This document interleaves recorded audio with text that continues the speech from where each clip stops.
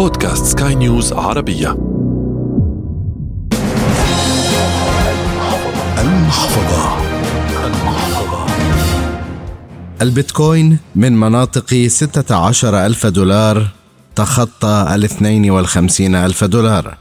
بعد أن كان كثيرون فقدوا الثقة فيه لكن اليوم مع الاعترافات العالمية ودخوله بالتداول في البورصات العالمية أيضا يبدو أنه في طريقه ليحصد قيمة سوقية لم يتخطاها منذ ظهر. لكن تبقى المخاطرة جزءا كبيرا جدا في التداول والاستثمار فيه. حلقة جديدة من المحفظة تأتيكم عبر منصة بودكاست سكاي نيوز عربية على أبل جوجل سبوتيفاي أنغامي والعديد من المنصات الأخرى في إعدادها وتقديمها. أحمد الآغا. ومن الإخراج غسان أبو مريم.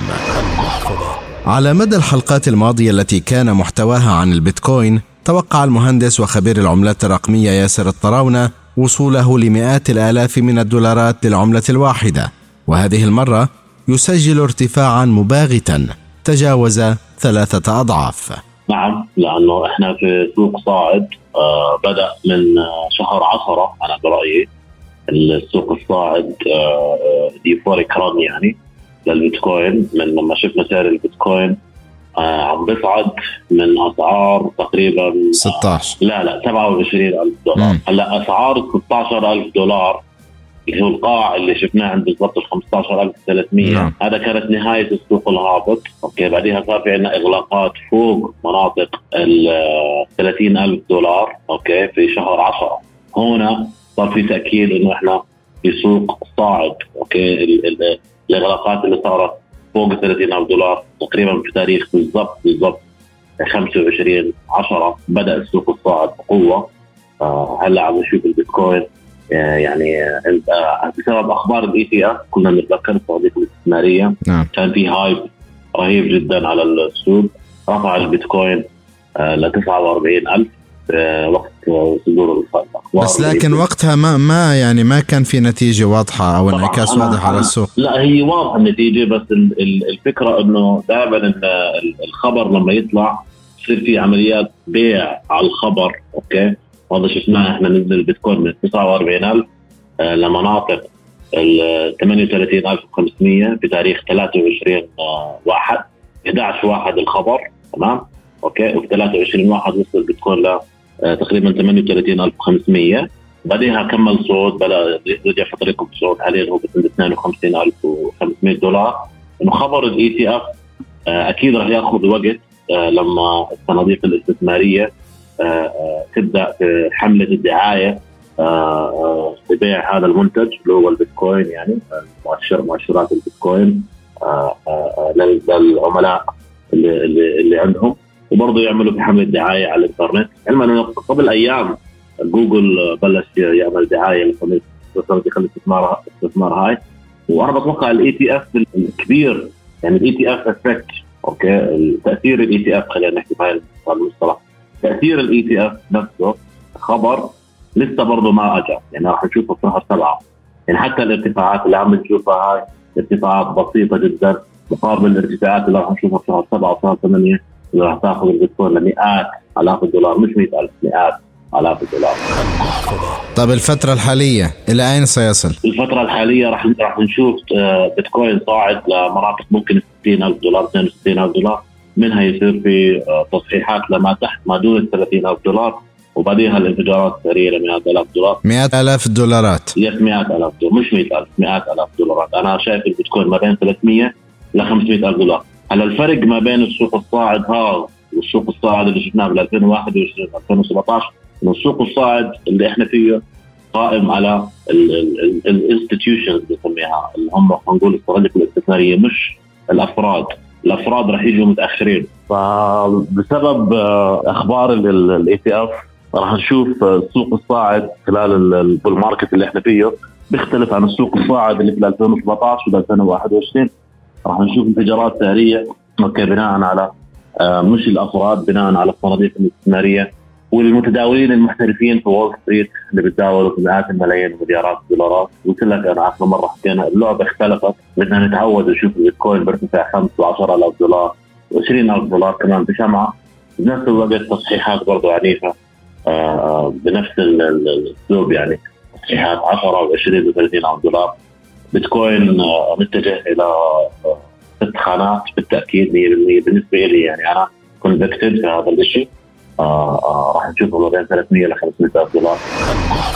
طيب العملات الأخرى يا مهندس ياسر؟ جايك بالحديث. في أشياء في ال bull market هاي عم بنشوفها بتختلف عن ال bull market الماضيه في عنا بروتوكولات جديدة زي الميم. شفنا إحنا بنهاية 2021 Dogecoin اذا تتذكر كانت بسبب إيلون ماسك. بتغريدة كان يوصلها للقمر. نعم في ناس عملوا ملايين الدولارات من من وراء الاستثمار في بال Dogecoin. وخلال الفترة هذيك صار في عملات كثيرة آه، على منهج الميم بس ما كان في حضارة فيها. طبعا ال meme culture على الإنترنت شيء حقيقي أنا إنسان يعني بقعد 12 ساعه تقريبا على الإنترنت. ف بستخدم ال memes بشكل يومي ببعث memes لأصحابي وببعث memes للناس على تويتر. آه على الواتساب. هاي الميم بلا مشاريع لهذه العملات صحيح؟ لا هي عبارة عن صورة فقط لا غير مضحكة لتعبير يعني لتعبير نقول آه آه عقليتك خلال اللحظة هاي.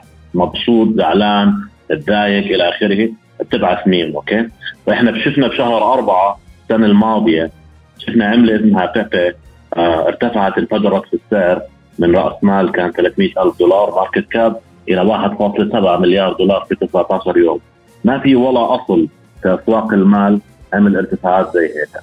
فتتا هي هي حضاره حضاره ميم معروفة على الإنترنت هي ضفدع لونه اخضر آه، معروف يعني معروف صورته فهو شيء مضحك ولكن هذا هذا المشروع جاب exposure لعملات رقمية أو ميم زاد شفنا بعدها انفجارات سعرية في عملة ثانية اسمها Coq Inu أوكي؟ على Avalanche شفنا عملات ثانية برضه زي Bonk على Solana أوكي؟ وقبل فترة قبل أسبوعين تقريبا شفنا عمله Pork اللي هي المفروض تكون إنها Pepe Pepe fork.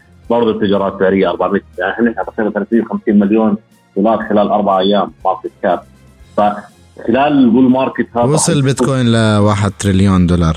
نعم هلا يعني بالحديث عن البيتكوين هو 1 تريليون دولار وراح يوصل أكثر. حاليا هو البيتكوين كأصل أخذ آه، مكان Berkshire اللي هو الصندوق الاستثماري تبع وورن بافيت وأنا بشوف البيتكوين خلال السوق الصاعد هذا راح يكون تحت الذهب راح يكون هو ما في شيء يعني راح ياخذ الفيسبوك وراح ياخذ Apple آه راح يصعد يعني راح يوصل 7 تريليون دولار ك market cap بس بالحديث عن ال memes وال meme culture خلال ال bull market هذا آه، آه، بدي أذكر الكل إنه خلال ال bull market الماضي آه، رأس مال العملات الرقمية كان 3.5 تريليون دولار.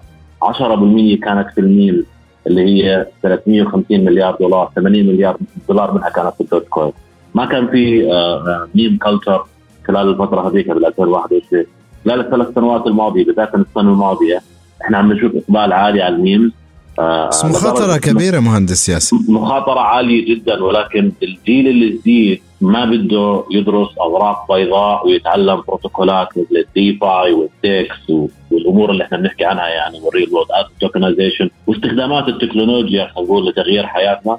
الجيل الجديد بده يشتري عملة ب 100 دولار ويعمل ممكن 100000 أو 50000 أو يخسر هاي الدولار فال memes عم بتصير زي الكازينو لل cryptocurrencies فأنا بتوقع راس مال العملات الرقميه راح يوصل ل 10 تريليون دولار أو 15 تريليون دولار.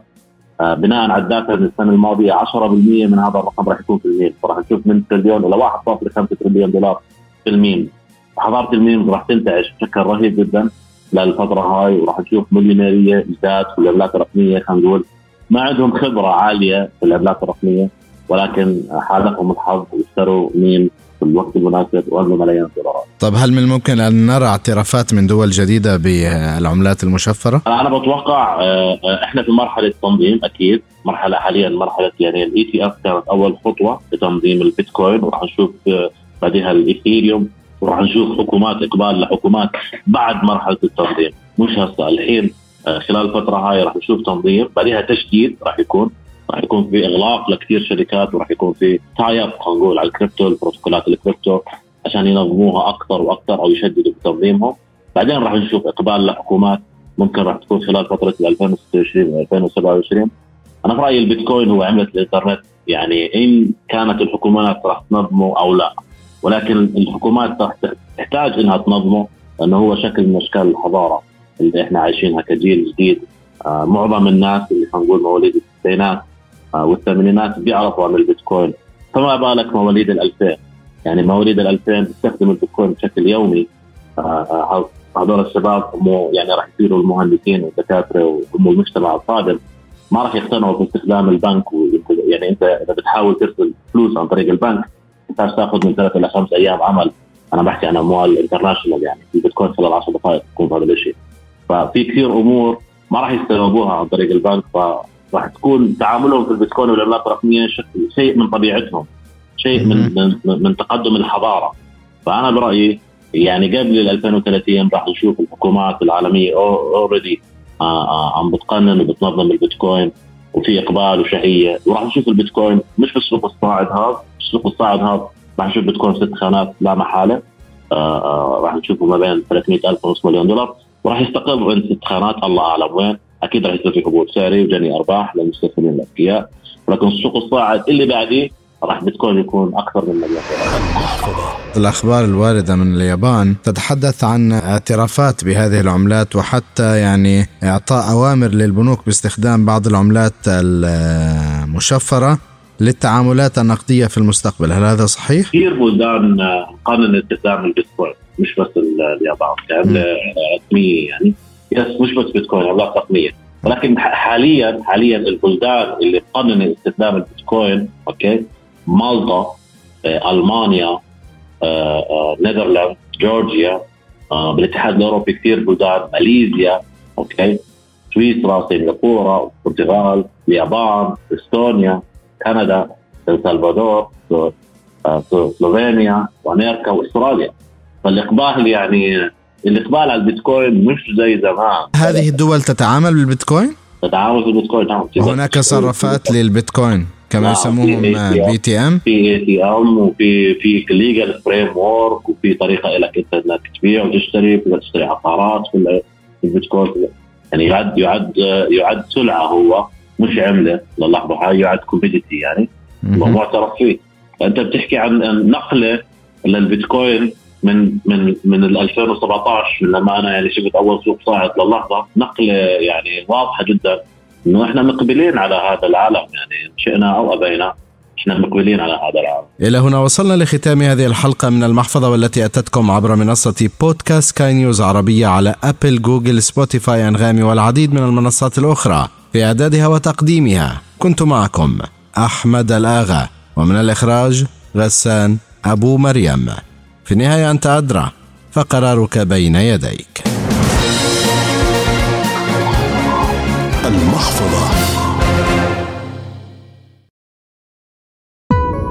بودكاست سكاي نيوز عربية